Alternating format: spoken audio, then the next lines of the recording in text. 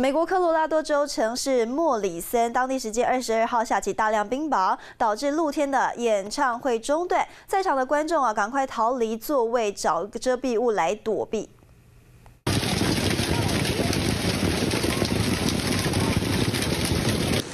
白色的冰雹不停地从空中落下，发出了巨大的声响。这冰雹的大小大约跟高尔夫球差不多。当地的政府指出，有七位的民众因为被冰雹砸中，被送往医院治疗，所幸没有生命危险。那美国的中部每一年在夏季的初期，常常就会出现龙卷风、大雷雨，还有冰雹等等的天气形态。政府就警告了当地的中西部城市，未来几天还有可能会降下网球大小的冰雹。